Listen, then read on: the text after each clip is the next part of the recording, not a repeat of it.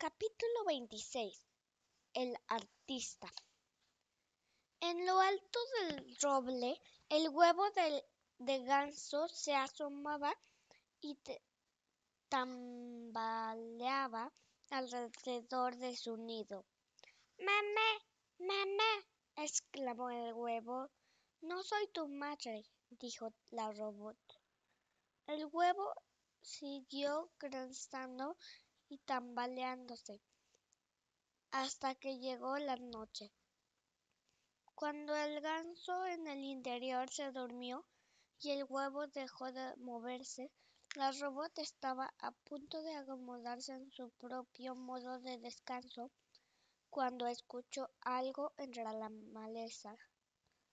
Bajó la mirada y entre las ramas vio la hierba agitándose a la luz de la luna. Una criatura estaba arrastrándose, pero se mantuvo, agachada, escondiéndose en las sombras, de tal manera que Ross no pudiera ver quién era. Pero no era la única que observaba. Un par de orejas peludas se levantaron detrás de un tronco. Las orejas pertenecían a un tejón muy hambriento.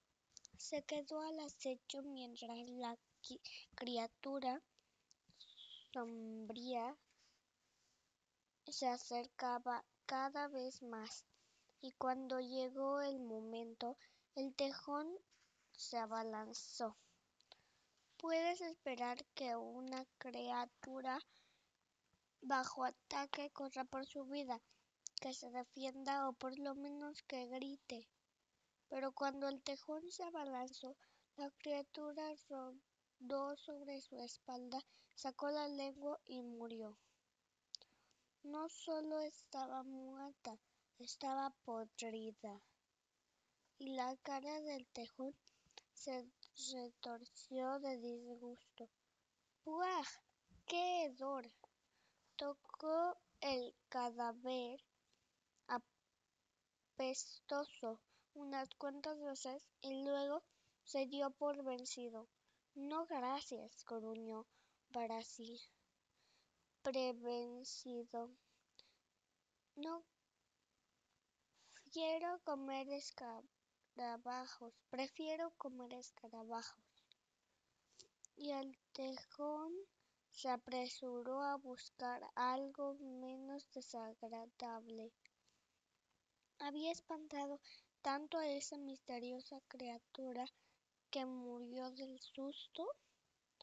¿Y cómo podría su cuerpo pudrirse tan rápido? Ross estaba confundida y se confundió todavía más cuando una hora más tarde las orejas de la criatura comenzaron a moverse. Su nariz comenzó a temblar. Se puso de pie y siguió su camino como si nada hubiera sucedido. La voz de la robot le gritó desde el árbol. ¿Estás viva o estás muerta? La voz de la criatura silbó desde las sombras. ¿Quién está allí? ¿Por qué no me has estado ¿Por qué me has estado, estado observando? Lo que acabo de hacer fue increíble, dijo Ross. No podía apartar la mirada. ¿Increíble? ¿En serio? La voz de la criatura pareció suavizarse. Pensé que tal vez había exagerado cuando saqué la lengua. Estaba segura de que estabas muerta. Oh, qué cosa tan maravillosa me dices. ¿Estabas muerta? Por supuesto que no. Nadie puede regresar de entre los muertos. Estaba actuando. No entiendo. Sencillo. Sabía que si me hacía el muerto y me ponía tieso, ese viejo tejón estaría tan disgustado tan disgustado que se iría. Y eso es exactamente lo que sucedió. Las zarigüeyas somos artistas por naturaleza, ¿sabes? Entonces eres una zarigüeya. El cerebro de la computadora de Ross recuperó rápidamente cualquier información que tuviera sobre las zarigüeyas. Eres un marsupial, eres nocturno y se te conoce por imitar la, apariencia y el olor de los animales muertos cuando estás en peligro. Es cierto, fingir la muerte es mi especialidad, dijo la zarigüeya, pero puedo hacer más cosas dramáticas, créeme. Creo. ¿Alguna vez has actuado? preguntó la zarigüeya. No, contestó la robot. Bueno, deberías. Quizá lo disfrutas. Puedes comenzar imaginando al personaje que te gustaría ser. ¿Cómo se mueve y habla? ¿Cuáles son sus esperanzas y miedos? ¿Cómo reaccionan los demás ante él? Solo cuando realmente entiendes a un personaje puedes convertir, convertir, convertirte en él. Las dos extrañas criaturas estaban sentadas ahí, una en un árbol, la otra en la maleza, y platicaban sobre actuación. La zarigüeya siguió hablando acerca de sus diversos métodos y sus triunfales actuaciones, y nuestra robot procesaba cada palabra. Pero, ¿por qué finges ser algo que no eres? preguntó. Porque es divertido, contestó la zarigüeya, y porque me ayuda a sobrevivir, como acabas de ver. Nunca se sabe, podría ayudarte a sobrevivir a ti también. Pronto el cerebro de la computadora de la robot vibraba de tanta actividad. Actuar podría ser una estrategia de sobrevivencia. Si la zarigüeya podía fingir estar muerta, la robot podía fingir estar viva podía, podría actuar menos robótica y más natural. Y si pudiera fingir ser amigable, podías, podría hacer podría hacer amigos y podrían ayudarla a vivir más tiempo y mejor. Si este era un excelente plan. Sí, este era un excelente plan.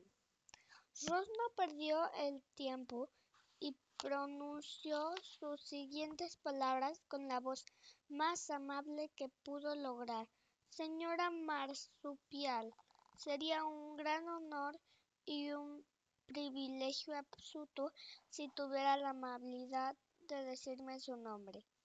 La actitud amistosa de Ross necesita trabajo, pero este era un comienzo. Sí, por supuesto, contestó la zarigüeya. Me llamo Rosita. ¿Y tú? Las hojas se sacudieron suavemente cuando Ross bajó del árbol. Es un placer muy agradable conocerte, mi querida Rosita.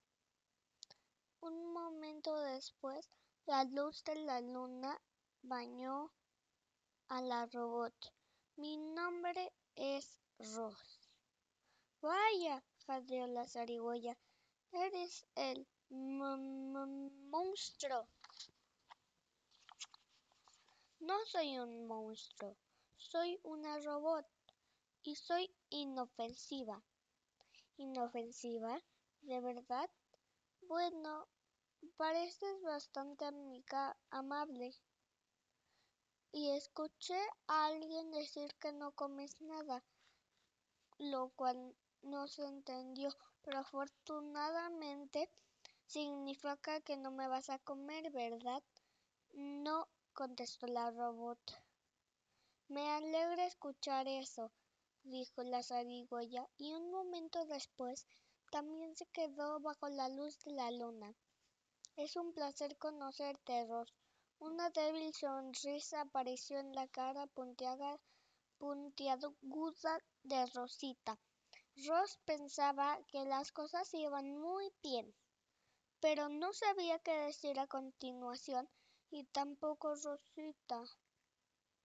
Entonces las dos criaturas amistosas permanecieron allí juntas y escucharon a los grillos por un rato.